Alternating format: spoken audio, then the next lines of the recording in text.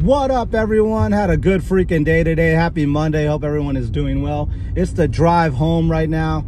Now, you know what I hear consistently consistently from a lot of people is reasons why they can't and reasons why they won't and reasons why blah blah blah blah blah blah blah blah blah blah blah I can't get things done because my life is so terrible and all these things every freaking day there's always someone. Either they dm me or they know me personally and they're like you know what? I can never get things done because i can't get things done. You know and it's just like well are you going to keep making excuses? Are you going to let the fear consume you? Are you just going to keep on with the same old script of i can't because my life blah blah blah. Or i can't because i don't have the mental strength or the testicular fortitude, you know, and not everyone has testic has testes, but you know, just the strength to tell yourself, you know what, damn it, no more living in fear, no more why not, how come, you know, let's just do it. And let's just like get things done, make our dreams come true and go after it